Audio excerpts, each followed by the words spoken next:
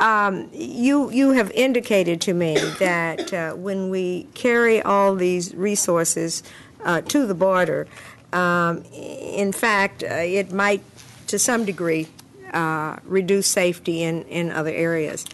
And uh, of course, you know there was a great deal of discussion last session regarding, you know, an appropriation of $800 uh, million, north of $800 million. Uh, I'm not sure that there will be less discussion on that uh, on that point, um, you know, as we get ready for this next budget session. But certainly, um, I think these discussions are timely, and I too commend you on giving us something that's broken down in this manner. It's very, very helpful. Having said all of that, uh, if I go back to Dallas County and say, yeah, you know, you, you have fewer people patrolling your area, and yes, you may be a little less safe uh, for the moment. Uh, but this is what we have accomplished. So if I were to ask you, I realize that this is multifaceted. You know, there's no one uh, answer to this question.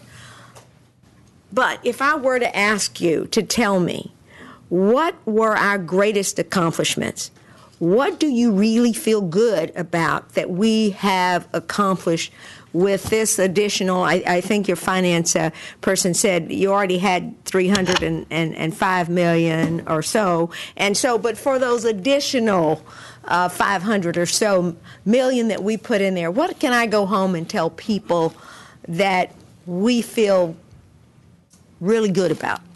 Well, I mean, I'll go back to the border security fundamentals that we we've talked about just briefly, is having the supporting infrastructures in place. Without question, in the Rio Grande Valley. We've we've used those resources in the area where it is the, the most significant smuggling was occurring for not just Texas but the nation.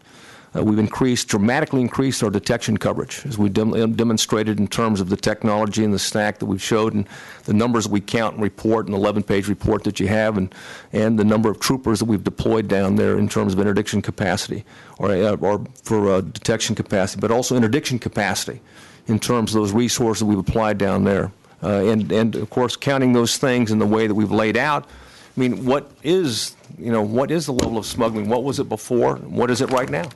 And have we increased it to what level, okay, in each county? And so there's going to be some counties where, hey, the levels, I can tell you right now, there's counties where there's, it's unsecured, period.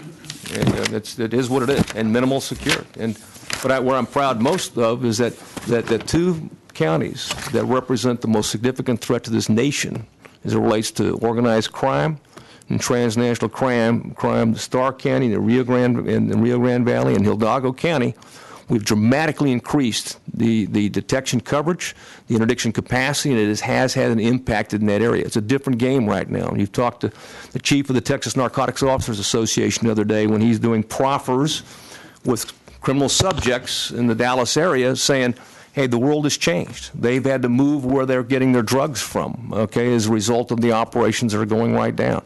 Intel reporting from Mexico. We know what the cartels think, and we know the impact that we're having in that regard, and that makes that makes a big difference.